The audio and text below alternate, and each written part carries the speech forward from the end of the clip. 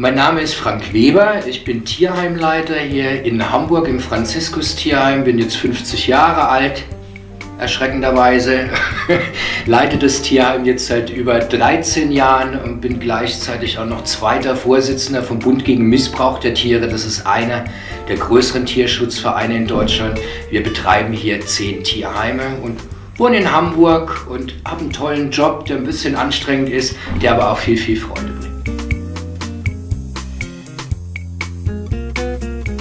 im Tierschutz arbeite ich jetzt mittlerweile ja seit 14, fast 15 Jahren.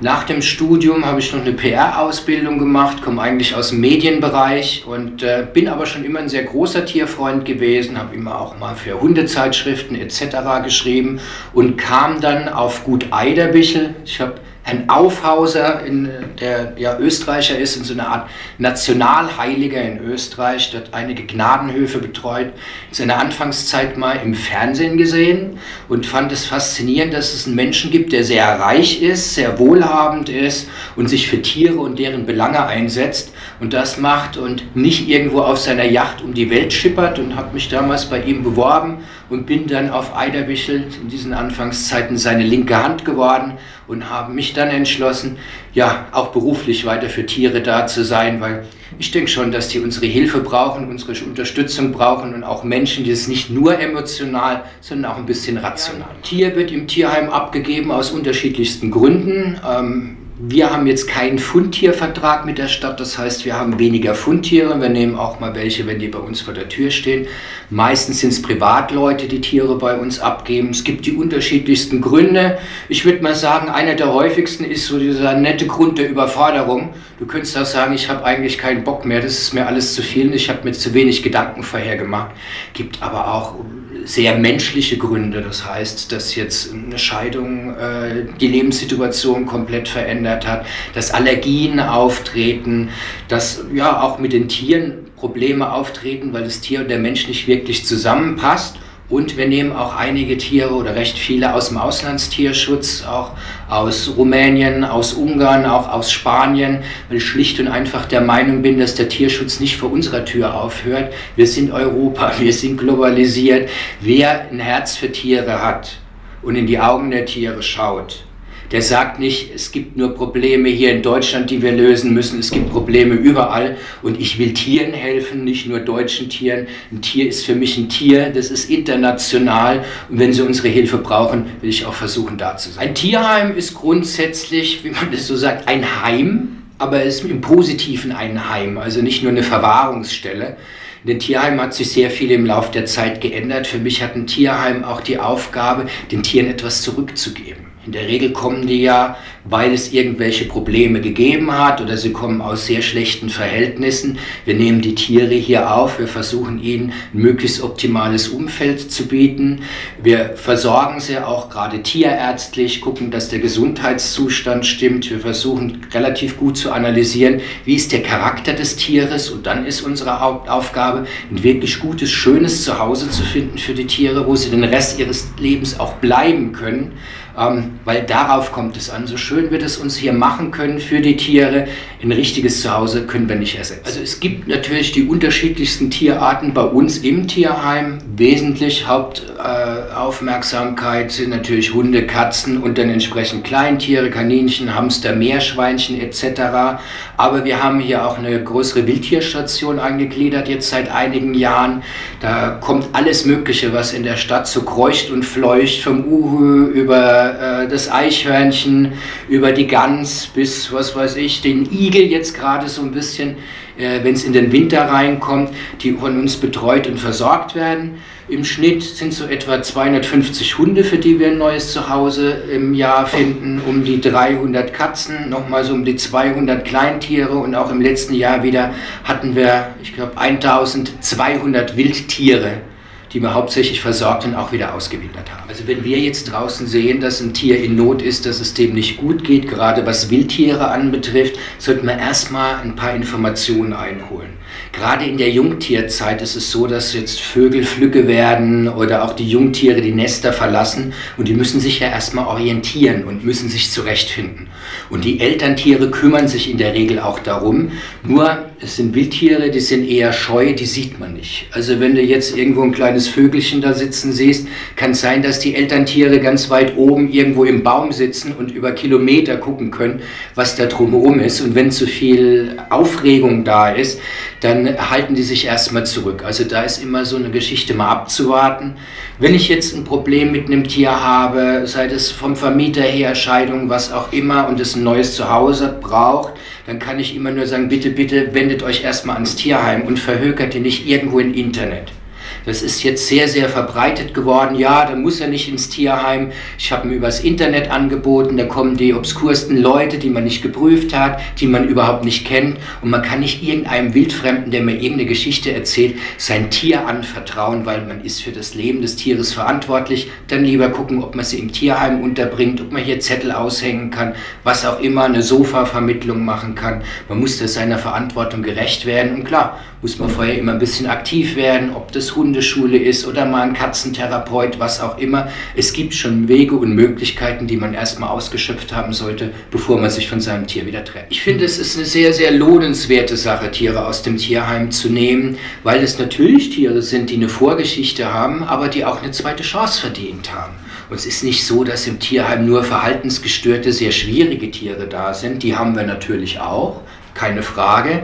Aber wenn man so einem Tier eine Chance gibt, gerade die, mit denen man wirklich viel arbeiten muss, die einem am Anfang, was schon vorkommt, auch Probleme machen, man lernt daraus. Man tut etwas Gutes, man tut dem Tier was Gutes, man tut aber auch sich selbst was Gutes. Leute, die am längsten rumzuckern mussten, bis es mit den Tieren funktioniert, haben auch oft eine besonders enge Bindung zu diesem Tier. Und ich finde, jeder hat eine zweite Chance verdient. Tiere sind kein Konsumartikel, wo ich jetzt sage, das kaufe ich mir da und dann stecke ich wenig, wenig Geld rein und dann läuft schon alles perfekt.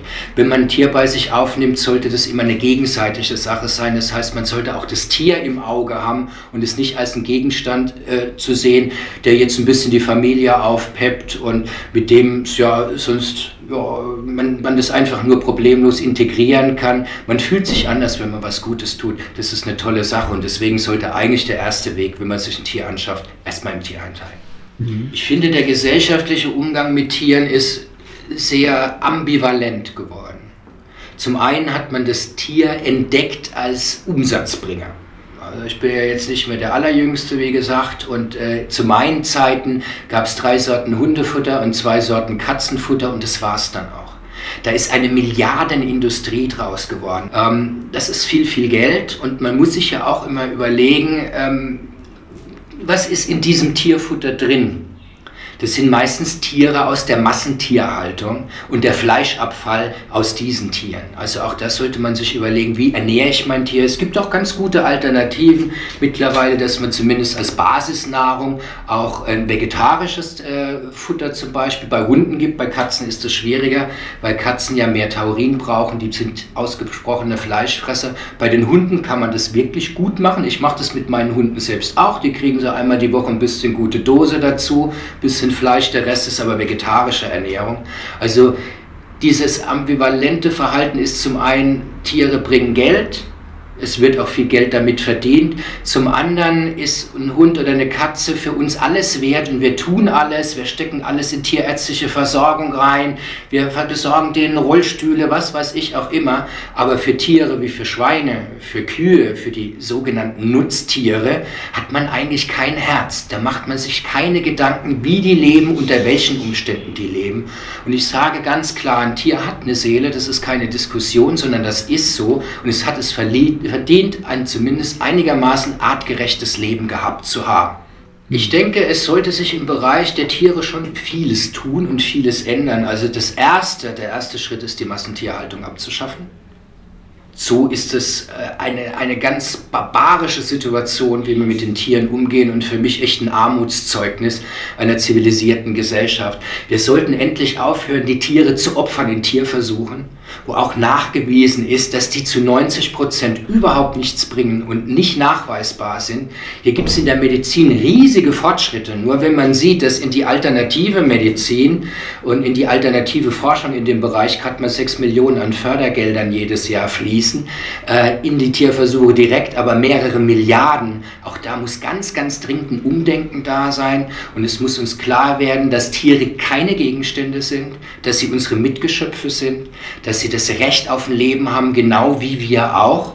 Und dass der Mensch, der sich ein Tier anschafft, auf jeden Fall auch die Verantwortung für dieses Tier übernimmt und sich dieser Verantwortung bewusst sein muss. Das, das Bild eines Idealzustandes ist natürlich ein relativ paradiesisches Bild. Ähm, wir hatten das mal, sag ich mal, mit Abstrichen natürlich. Ähm, wenn man die früher schaut, wie Tiere auf Bauernhöfen gehalten wurden, indem sie auf die Weide gegangen sind, indem sie Frischluft hatten, indem man dem Tier auch einen Wert zugemessen hat. Auch ein Huhn hatte einen Wert. Man hat es hegen und pflegen müssen, auch wenn man dann die Eier genutzt hat oder das Tier später auch geschlachtet hat. Aber es hat einen Wert gehabt. Heute hat ein Wert, äh, da ist, hat ein Huhn aus einer Legebatterie einen Wert von, ich glaube, 20 Cent. Wir schlachten die, verwerten die in einem Ausmaß, das wirklich absurd ist. Davon müssen wir wegkommen. Wenn wir wieder ein bisschen back to the roots gehen, uns anders ernähren, verantwortungsvoller mit den Tieren umgehen und den Tieren auch Rechte einräumen und nicht sagen, wir können mit ihnen machen, was wir wollen. Wir töten sie, wir nehmen ihre Kinder weg, äh, wir gehen mit denen um, als wären sie keine Seele und wären nur eine Sache. Das ist eine völlig falsche Herangehensweise. Wir müssen zu einer Welt kommen, wo wir uns gegenseitig achten, wo wir Empathie haben und wo wir gegenseitig Respekt voreinander haben, vor Menschen wie vor Tieren. Und dann leben wir auch in einer besseren Welt. Wenn man ein Herz für Tiere hat oder vielleicht auch gerne möchte, dass die Welt sich verbessert, gibt es ja viele verschiedene Ansatzpunkte. Das heißt, man muss auf sein Konsumverhalten achten. Man sollte gerade in dem Bereich wirklich sehen, dass man diesen Fleischkonsum stark zurückfährt, denn das ist eine ganz massive Umweltbelastung, die uns langsam tatsächlich auch die Luft abdrückt. Man kann überlegen, ob man bei Medikamenten schaut, was man dort benutzt. Man sollte die Tierschutz- und Umweltschutzorganisationen unterstützen, da auch mal eine Spende hingeben. Man kann wunderbar im Tierheim Gassegeher werden oder sich da auch mit Tieren beschäftigen, wenn man sich klar macht, dass man eine Verantwortung hat. Man kann vielleicht die Welt nicht auf einen Schlag verändern, aber man kann viel besser machen und jeder kleine Schritt ist wichtig und er zählt. Und das ist auch das Schöne bei uns am Tierheim. Wir haben ganz viele tolle, engagierte Leute, die hier auch so einen gewissen Lebensraum finden, in dem sie sich sehr wohlfühlen. Und das ist auch ein Lebensraum für die Tiere, wo sie sich wohlfühlen, weil man sich um sie kümmert und man fühlt sich selbst auch wohler, weil man weiß, man ist ein Teil einer guten Sache. Was mir tatsächlich auch noch auf der Seele brennt, da kommen wir wieder in diesen politischen Bereich, ist das ja in der Regel immer gedacht wird, die, Tierheime, die werden ja von den Städten, Gemeinden, Behörden, werden die bezahlt und äh, die kommen für die Kosten auf. Das ist leider nicht so. Bei uns mit zehn Tierheimen haben wir einen Schnitt von 10 Prozent, die Städte und Gemeinden übernehmen. Das heißt 90 Prozent von den Kosten, die wir haben, die echt hoch sind, weil du musst deine Leute bezahlen, du musst die Gebäude instand halten, die Tierarztkosten sind wahnsinnig und was wir an Vermittlungsgebühren haben, deckt nicht mal das, was wir in den Tierarzt reinstecken. Da würde ich mir sehr wünschen, dass die Städte und Gemeinden mal in die Gänge kommen und nicht sagen, die privaten Vereine haben 90 Prozent aller Kosten zu tragen, sondern wir übernehmen auch mehr. Und ich denke mal, zumindest mal 50, 60 Prozent ist eigentlich ein Minimum. Das heißt, auch hier mal wieder die, die Geschichte, auch bei der Politik, ändert euer Denken, seht, dass Tiere auch was wert sind und dass wir den Tieren was zurückgeben müssen, weil leider ist ein Großteil unserer Zivilisation darauf basieren, dass wir Tiere nutzen, Tiere ausnutzen und die haben es verdient, dass wir ihnen was zurückgeben. Jeder einzelne